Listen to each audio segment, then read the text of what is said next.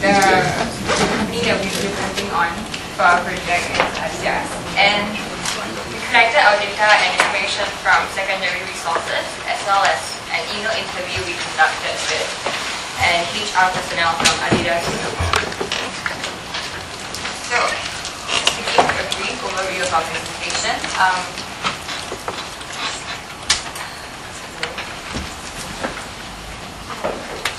yeah. What?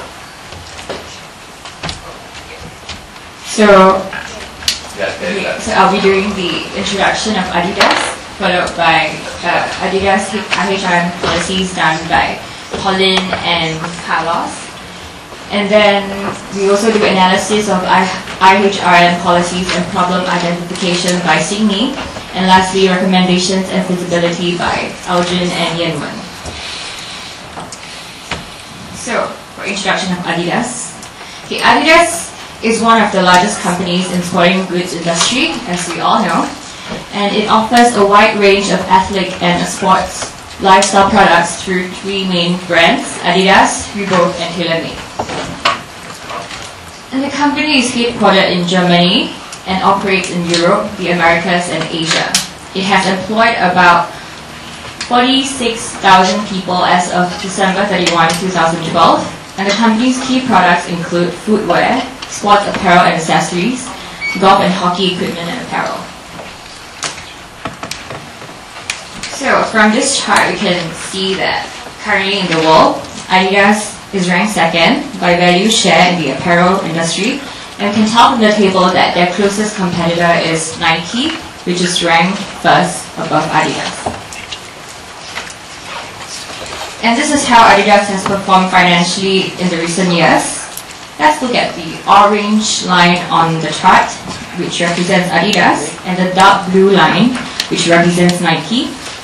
As shown, Adidas has started to outperform Nike from point B to point C, which is the period between the middle of 2009 and 2011. And overall, Adidas is also outperforming the world average, which is represented by the light blue line. So this shows that they are doing pretty well financially. So for their SWOT analysis, Do you know the reason why Adidas uh, shares go up? Right? yeah, You know it's, it's because of the strength. Okay. Yeah. So for strength, the company has ha- has an exceptionally strong group of brands that is heavily supported by sophisticated marketing. And this allows the company to quickly develop new category and geographic markets, which is why they've been growing so rapidly in the recent years. And secondly, Adidas products are well designed with a strong reputation for aesthetics and function. This underpins brand loyalty by the consumers in response to new products despite their higher prices. However, for their weaknesses,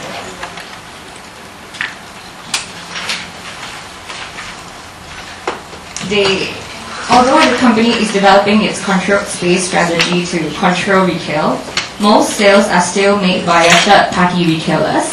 So this shows that they have an over-dependence on retailers, and this risks their brand equity. And also, the company lags behind Nike in scale, and in many cases in terms of innovation. So for example, Adidas has a far smaller e-commerce operation compared to Nike. For opportunities, firstly, the development of its own stores, as well as franchises and in-store outlets would drive sales for Adidas, as well as support prices and their brand equity. And secondly, Adidas can strengthen the bond between brand and consumer with social media and smartphone apps, which they have been doing for the recent years. And for threats, uh, the first one, it, it actually is relevant for all sports brands, which is um, including Adidas. They suffer from large amounts of counterfeiting, especially in the emerging markets targeted by Adidas. And secondly, Adidas also risks endorsement failures because any negative behavior by the athletes and teams that endorse Adidas brands could substantially harm the brand equity. Mean that most of uh, Adidas uh, sales come from emerging market? I, I mean that from uh, your uh, statement, right? The counterfeiting uh, issue, Yes. this uh, won't happen in the emerging market. Yeah, but the emerging markets are the ones that they are looking at expanding currently, so it will affect their their um, their business in these countries. Yeah. So, looking forward, these are the strategic objectives and challenges that Adidas is making.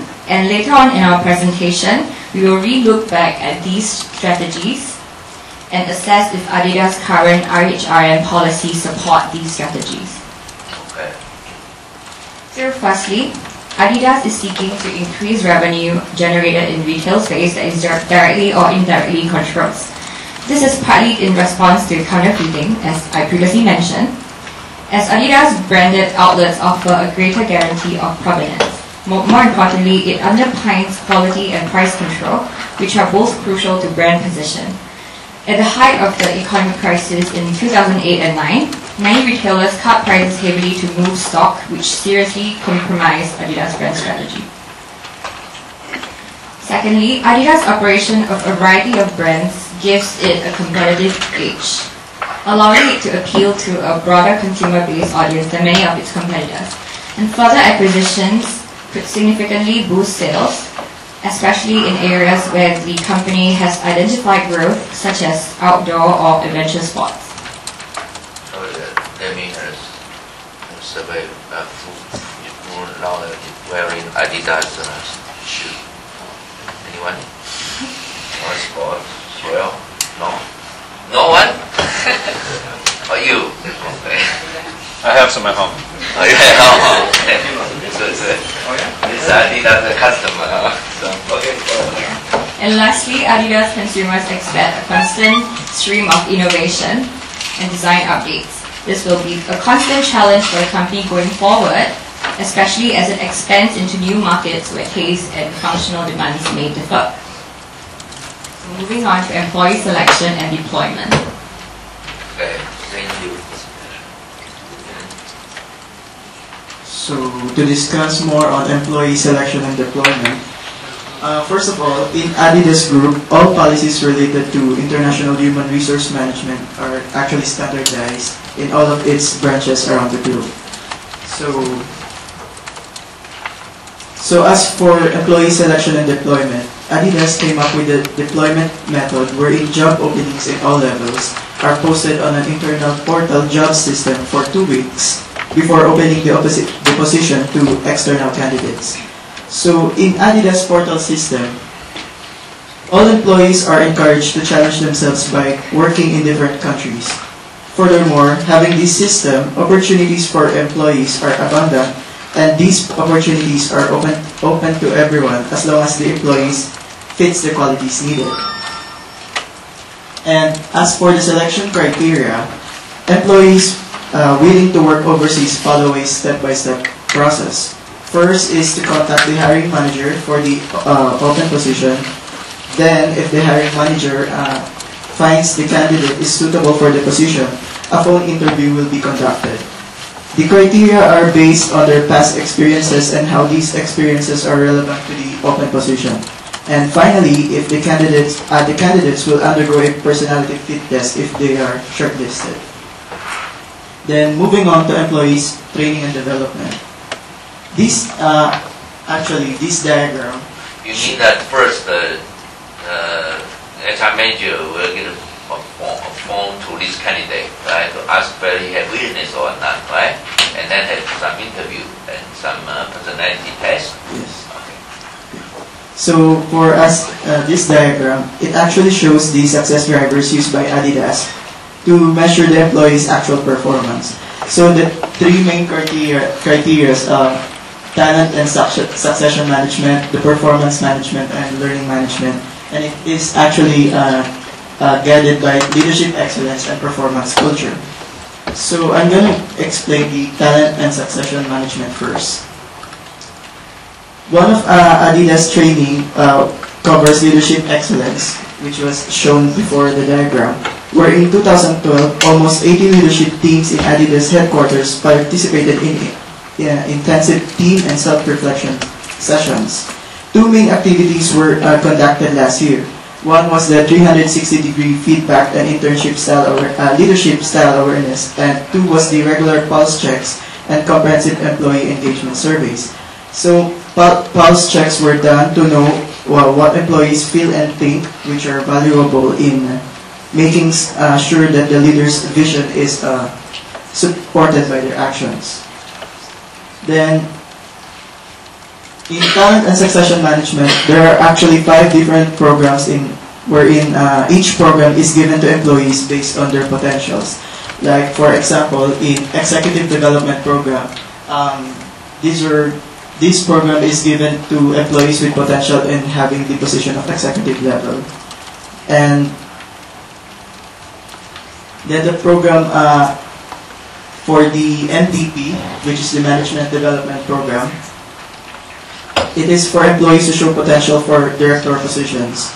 And while PDP, DMP, and FTP, uh, these programs are actually given to employees at a professional level who show potential to become team leads or senior managers someday.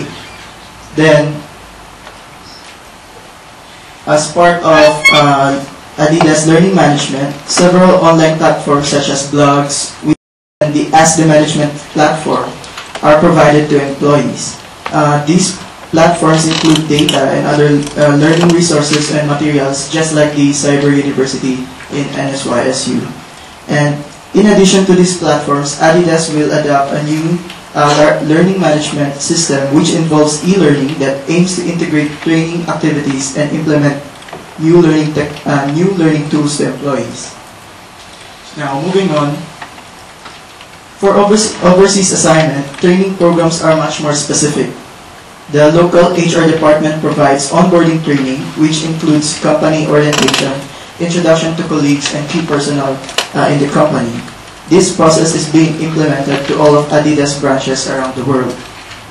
Furthermore, those Adidas group professionals and their own families moving to new living and working environment will receive services such as uh, relevant language training, cultural training, and relocation assistance. Now, uh, to discuss the underlying details on Adidas performance management and compensation and business, um, here is Polly. Thank you. Uh, uh, Okay, thank you, Carlos. So um, I'll cover the performance management, eh, which is the last component of the uh, success drivers for performance in Adidas. So performance management actually includes two factors. Uh, firstly, performance evaluation, and secondly, compensation and benefits. Now I'll just briefly uh, touch on the performance evaluation first. So Adidas use this platform called Global Performance Evaluation and Planning Tool what this system is about. It actually allows HR personnel and managers to define targets for the employees, and employees can view and assess this uh, platform from time to time to see what job tasks are required from them and what competencies and skills needed to complete the task. So uh, employees are also evaluated and given feedback at least once a year by their managers. Specifically for overseas assignment, uh, for employees on overseas assignment, the evaluation will be standardized um, across all the Adidas office, given the same job positions. Okay, so definitely there will be different performance uh, evaluation criteria when the job position and job scope differs. For instance, for a product marketing position, the KPI will include general performance of the product, and for e-commerce position, it will include the performance of the social media platform. Next, uh, now I will cover the compensation and benefits in Adidas. Overall, Adidas adopts performance-driven remuneration system, which include fixed and variable monetary compensations, non-monetary rewards, and intangible benefits. It uses this uh, system called Global Salary Management System to ensure that the salaries paid are competitive with the competitors and also ensure that it's performance based so that uh, staff are motivated to perform to their best. I'll drill into a little bit more monetary compensation. Basically, it's standardized uh, throughout the group company. It includes bonus program, which is assessed and given based on individual performance and also corporate performance. For staff who is in who are in headquarters and in Germany and do not participate in the bonus program, they will be entitled to the profit sharing program. And um, Adidas uses these long-term incentive programs to re- retain leadership talents and to encourage sustainable performance. So what do they use? It's actually um, the pension plan to keep the staff uh, for long, and um, yeah, the pension plan, which is like a 401k retirement plan in US and the group pension plan in Germany. For benefits package, Adidas give um, and let let the executive board members to reimburse the expenses, for example, uh, for instance, for entertainment and pension insurance fee. The, they will also be provided company car. And for employees in different countries, the benefits given will actually uh, be catered to the specific regulations and norms. For instance, in Singapore, there will be uh, compulsory maternity leave for the employees, for female employees. Okay. So specifically for overseas assignment, the expatriates will be entitled to either of these three or both. Okay, so uh, I'll elaborate more for local package in Singapore. It will cover medical, dental um, expenses, annual leave, and AD flags. AD flags actually um, entitle the employees to spend a certain amount on anything that they want. It can be sports, education, etc. For staff on partial expat package, on top, it will be, they will be provided additional housing allowance on top of the local package. And for full expat packages, they will also be given housing and children's um, provision on top of the local package. As for how expats are um, assigned these packages, we are not given the information as it's deemed confidential by the interviewee. Okay, so next I'll hand over the presentation to Sydney, who will assess the effectiveness of the current IHR policies and the areas for improvement. Okay, thank you, Pauline. So just now, um, firstly, we'll look at how what Carlos has explained in terms of training and development policies. He actually talks about talent succession management as well as uh, leadership excellence, and all this actually allows um, the employee to see Adidas as a very good career advancement opportunity for them because the the employees are actually trained to be very competent leaders. Then secondly, Pauline touched on compensation and um, benefits policy, whereby they are actually the employees are, are graded strictly on performance of of uh, what how they do during their work, and there was no discriminating factors involved. So both of these factors add together to cultivate this performance culture in Adidas, whereby you actually have a very loyal and strong workforce to help Adidas. And just now, as Jen mentioned, she said that um, Adidas has been working towards like her sales are getting better in terms of Nike is also because of such a loyal and strong workforce that they cultivate behind it. Yeah. So other than that, um, Adidas is also looking towards a creation of a very diverse workforce. As what we can see, they have support for diverse workforce such as like technical support in terms of the internal job portal, as well as service support in terms of cultural and language training.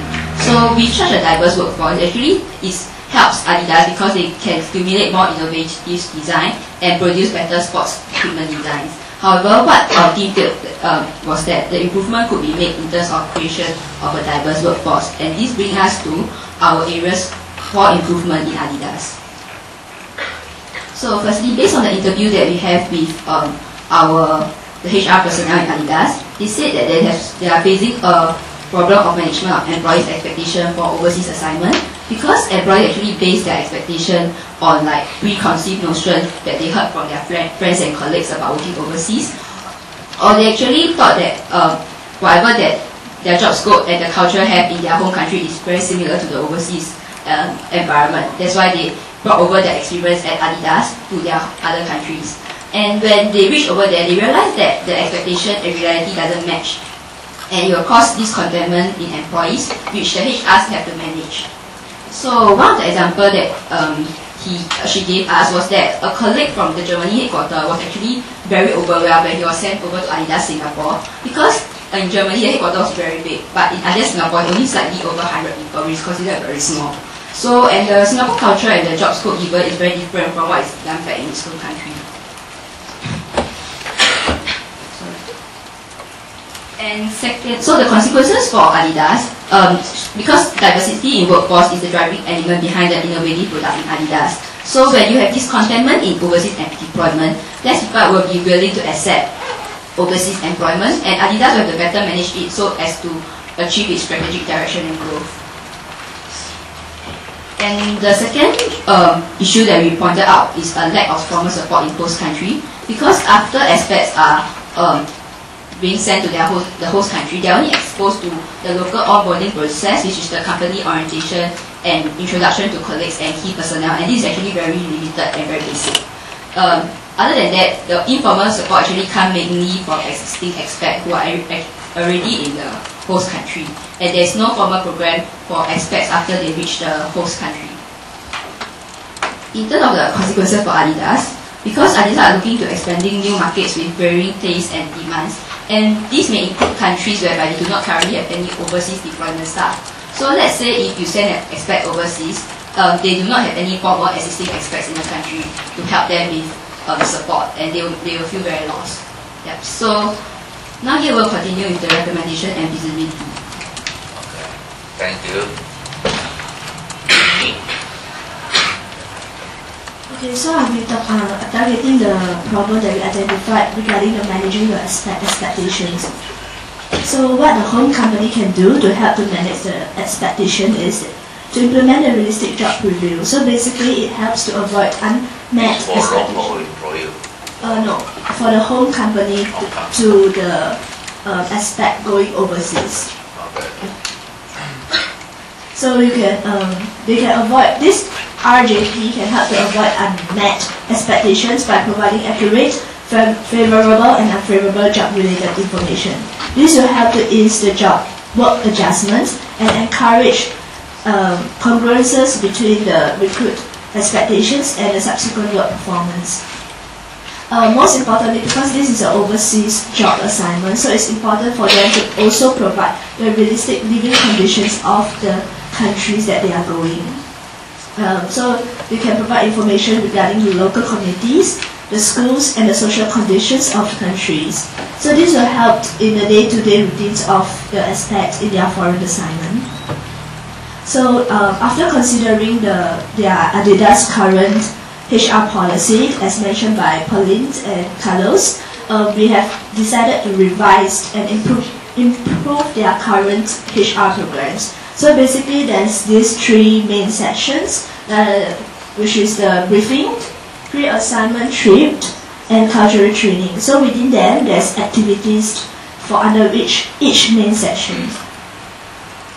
So under the first stage, which the briefing stage, they have this general briefing and this sharing. So under general briefing, there's this um, seven aspects that the HR should have in mind when they are covering the briefing. Um, so for job scope, career planning, and psychological and social consideration, consideration will help in giving RJPs to these employees that, that want to go for overseas assignment. Whereas for the rest of the elements is more related to realistic living condition previewed. And also, uh, it will be helpful to invite previous expats that have went to the country to give their um, sharing about how their experience in their country, so that it's more relevant to them. This, this, there is a practice or your suggestion. Um, there's current practice, for instance, they have give the um, they have give the currently they have give the job scope thing, uh, job scope review about what they are going to do. They also have some um, cost of living as mentioned by uh, as mentioned, and then the housing um, in the sessions. So we are suggesting on top of this they can add in other elements. Okay. Um, so this is a new thing that we are implementing, which is the pre-assignment trip. This is basically a field trip, sort of giving them a preview of what um, happens if they go there. So uh, this company, uh, the company can bring the employees and their spouses to overseas country for, for instance, five days trips, during which uh, the employees will conduct do a short overseas assignment in our local office so that they can file their customs, and everything. So this is under the host country orientation, so that they have this short-term work assignment. And on top of that, they also have community orientations. So um, you get to show what are the if you are if you really work there, what are the housing that you'll be living in, what are the educational and recreation facility available within the community itself. Um, this is catered to their spouses. And then for um, after they after they went for this field trip and they are certain that they want to go, they are able to fit in the culture. They will be we will give them a cultural training after that, um, such as the such as the assimilations and the sensitivity training. So the timing of implementing this training is important as well, uh, because if you give them this training uh, way before they go, so they will forget it. So we are suggesting to implement it before and upon arrival. So the reason for before arrival, uh, departure is to so that they have realistic expectations.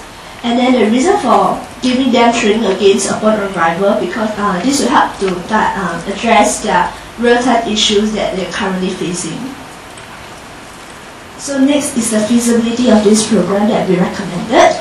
Um, we find that there's no, basically there's no problem in implementing the or realistic orientation briefing because it's just a seminar briefing style. So the cost involved is quite minimal. And the media will be like something like in this lecture hall, there's briefing, there's videos. Um, however, there's quite a big problem in implementing the pre-assignment trip because we realize, um, recognize that the cost involved is quite high. They are sending the employees and their spouses over there. So, but then we can sort of justify our adjustment by showing the management the savings that could result from, um, by implementing this program. And then for the cultural training part, um, the cost involved is moderate. So, um, but then if we are only selecting those final candidates that are really interested in going overseas, the cost will be much of an issue. Uh, so lastly, for the program evaluations of the entire program, so what the HR person can do to justify their spending to the management is that they can conduct a feedback forms to ask whether, to find out whether the candidates find that it's relevant to their, um, to their needs before they depart and upon arrival. They can also uh, monitor the rate of after they implement this program, the HR can also monitor the failure rate of the expat assignment. From this, they can calculate the cost saved from implementing this assignment and then compare with the previous result when they didn't implement this program. Next, I'll move on. Uh, I will pass on to Adrian to cover the second problem identified. Uh, so as mentioned, another problem in Adidas is uh, there is a lack of formal assistance in the host country for the international talents. And uh, the following are our proposal. Um, first of all, uh, the formal assistance for international talents. Uh, it aims to provide more assistance and a better enculturation process for international talents. Just to be clear, this program is more like a complement to the previously, uh, the, the one discussed by Yan Wen. It uh, it's more like a continuation and it happens more in the host country rather than the home country of the international talents. So it aims to go beyond the usual onboarding process because the usual onboarding process is only uh, for, it's more designed for the general and local, local staff of Adidas. So as a program overview, before the focus, before the uh, arrival of the international talents, the focus should be an assessment of the background of the international talent to be hosted. Um, uh, on the other hand, during the stay of the international talent, uh, the focus would be continuous communication with the ex expatriates and specific forms of support. And after, there must be uh, the focus must be uh, conducting briefings uh, and maintaining relationships with the local partners. So before, uh, to deepen the uh, preparations before the arrival of the international talent, the, the host country must do background research. Through background research, they, can, they, they will be able to understand the country where the international talent is coming from and identify the culture-specific needs to better able uh, to aid the international talent in enculturation and getting used to the host country. They must also retrieve anecdotal information. As mentioned, uh, Adidas already has an extensive uh, global exposure program for its employees. And from these experiences, they can gather previous information from international talents, and they can also look at the problems encountered by the talents before in specific countries in order for them to uh, make pre- precautionary measures.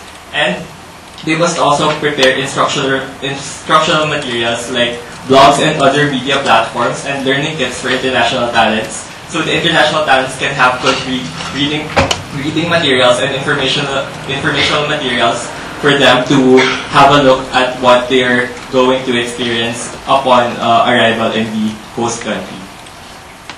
On the other hand, uh, during the uh, the stay of the international talent, regular communication and dynamic interactions should be the focus of the host country.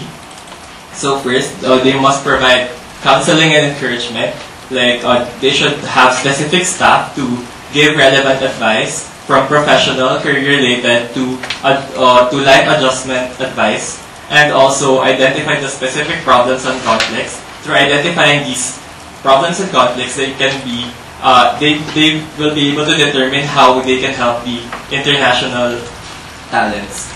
Uh, they should also uh, encourage local to expat interaction, uh, like uh, specifically assigning a local staff, preferably on the same managerial level as the international talent, because uh, uh, assigning a local staff with the same managerial level, they get to see someone of their same of the same level, but coming from a different perspective because of the difference in their culture and the location of their uh, the Adidas branch.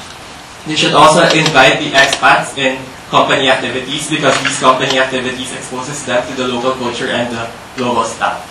They should also uh, design a way for expat to expat interaction, uh, like a mentorship program. For example, someone of a higher uh, managerial level to mentor uh, an expat of higher managerial level in the same in the host country to mentor some someone of of perhaps lower so that lower level so that they can learn from each other's experiences not only professionally but also how they are uh, able to adjust and cope to the local culture.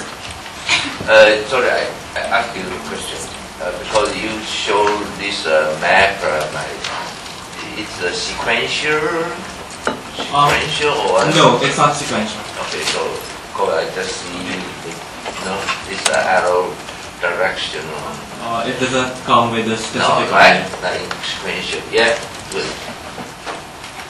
So after, the focus of the host country should be maintaining relationships. And uh, first, there, there must be a debriefing, uh, pre-departure counseling, so that uh, the host country should prepare staff to interview the international talents and ask them uh, for an assessment of their experiences, what they have learned, and what the relevance of the experience is to their career. And they can also help in evaluation of the program so that the program may be able to be better improved in the future. They must also, of course, show appreciation, uh, like a pre-departure celebration or a testimonial and Thanksgiving dinner to the international talent and also for the host country. This is, uh, of course, following international um, international customs. And uh, constant communication. There must be persistent online communication with the uh, international talent and the and people from the host country because it shows how uh, how much they want to uh, continue to connect with each other despite the distance.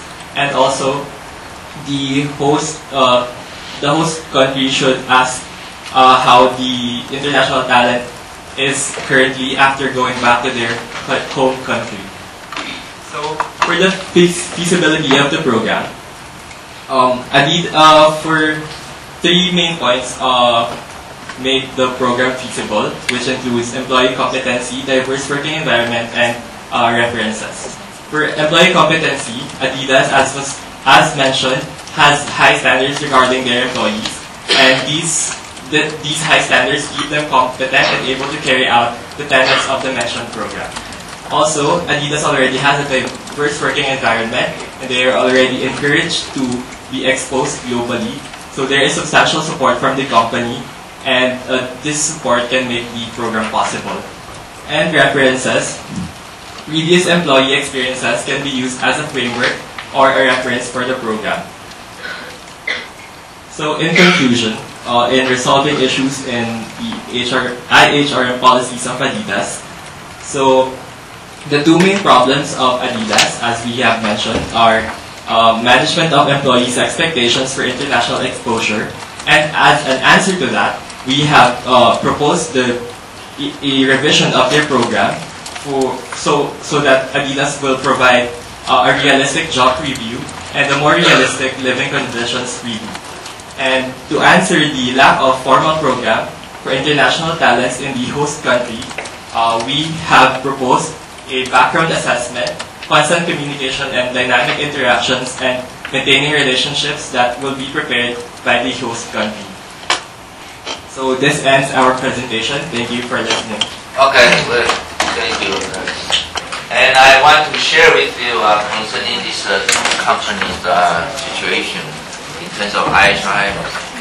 Uh, especially for Adidas, this company is a well-established company, right? This is not a, emerging company. So it must have a long uh, term of the international experience, right, in this company. So if uh, your company just uh, in the initial initial stage of uh, internationalization, you know, your performance not not come from very good training, not come from very good uh, performance management, because you don't know how to manage their international performance. You don't know how to uh, develop the global talent. You don't have any experience, right, to do this uh, international uh, uh, development uh, management. So, what's the most important HR issue when the company just in its initial initial globalization stage? How do you think? Which is most important? Which function, which HR function is most important for a company to uh, start its uh, globalization? How do you think? Training, selection, uh, financial uh, motivation, or any other? Um, well, it would depend on the company. Well, because some companies, they their motto is they're building their leaders, meaning they do not acquire leaders as leaders already. They they they hone their employees to become the leaders they want. While other companies, they say that well, they hire leaders already, and then they further develop those leaders to become the most competent leaders that the world can have. And so, in those types of businesses, those businesses can should first prioritize the hiring process because they need to acquire the good, competent leaders that their country has. While the other, the other company, for example, like what the IKEA company do, um, well, they hire employees that share the same values with them, then that's the time that they're they own their employees to become the leaders of their company. So, the most thing is you are, you are what? You are hiding, right? You are hiding practice or you are seduction. Yes. How would you seduct your international manager? It's very important, right? Seduction. You must seduct the people who first to go abroad, right? And second, what uh, his uh, personality. Personality very important. Not everybody can go international, right? The personality, right? His personality, entrepreneurial personality, right? Yeah, he can uh, the self-achievement, right? Nobody can help me if I just walk abroad. I need to achieve the goal by, by myself. Okay? This is very important. Very fast. Just try to transfer all the practices from the home country to the host country. Right? So uh, the personality is very important. Yeah, personality.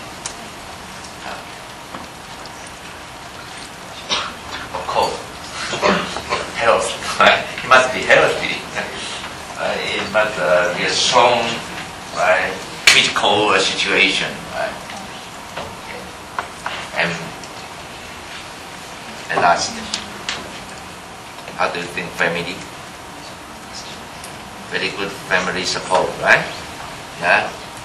Whether his uh, family uh, can cooperate. Okay. So the first thing, how to select, select an international manager who can go abroad for you in the initiate, initial, initial stage of organization. It's very important. Okay? And, however, after a period of uh, uh, uh, this uh, uh, practices, you, you, what's the most important thing? To direct the international success. No? Why you, you group want to uh, suggest this uh, training development? Why? Why did that? Why?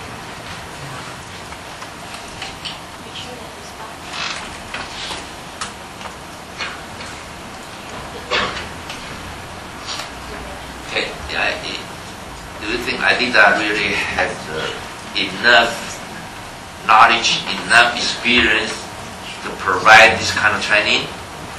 You think so? Yes, right? So then you, it's feasible. It's a feasible solution. Okay, good. If uh, one company had more experience, right, in globalization, then he should build up this kind of uh, development process, international uh, development process for their manager to help them to become an international uh, manager. Not only from the home country to host country, but also from the those subsidiary, right, to other subsidiary, right, from local to global. Okay, to help not only the home country manager to become international manager, but also for the local talent to become the global talent. You see that? It's very important for when a company uh, uh, becoming more uh, international, right? He need to set up very good uh, international managers uh, development process, right? To help to help these companies uh, managers to become the international manager, and also to help the local talent to become the global talent. Okay. Because this company has more successful experience and know, right? Know how to uh, uh, direct the international success, and also this company had more and more international manager who can help others, right, to become a, a good international manager. Especially these companies' uh, executive team, this top management team, they had more knowledge, they had no more, more uh, knowledge and experience, right, uh, concerning the, the international career. You know that? Yeah, if you uh, if your boss, your, your don't have any international experience, oh, it must be a, a disaster for you. Uh, to be assigned to go for, you know, because you don't know what difficulty you will encounter in the foreign uh, country. You don't know and he don't know how to help you. But he just will, will require you, right? Require you to get successful, but he don't know how to help you. Okay. So you should know that. You should know that. Okay. And after you uh, company uh, had very successful uh, in many locality, in many foreign locality, many foreign subsidiary, you that you should set up a very well-established performance system. Because at that time you know how to design a very good performance system, right? To direct your intermediate to perform well. Right? Right?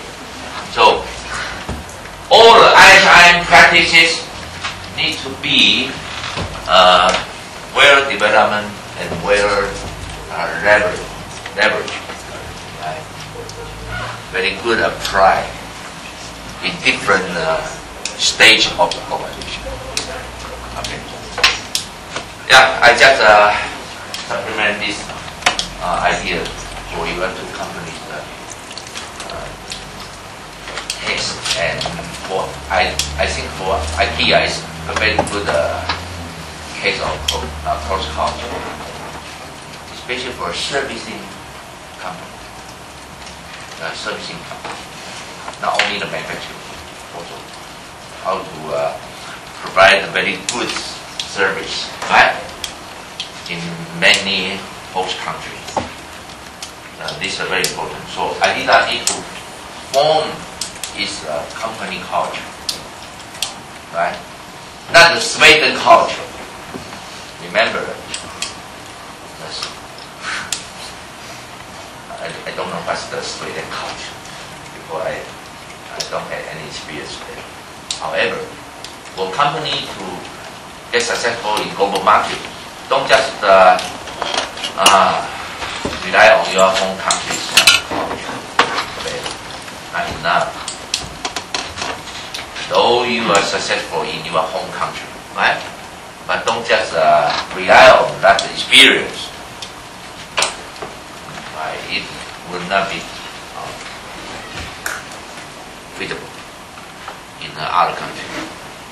So you need to have some uh, local adapt- adaptation, right? Need to have some adjustment. So in this situation, especially after you had a period of time for your organization, you need to form your own culture. You need to know what kind of the culture value can direct to the global success. Right? And then try to uh, figure out uh, and find all this value and to select your uh, uh, local talent or a worldwide talent, right? Or to uh, develop them, give very good training for them, right? To uh, uh, behave themselves according to your company culture, right? Because this culture can direct to the very good success in global market. Okay? Yeah. Okay. Thank you for all your two group. Uh, a very good final presentation. Thank you. Uh, we stop here, okay?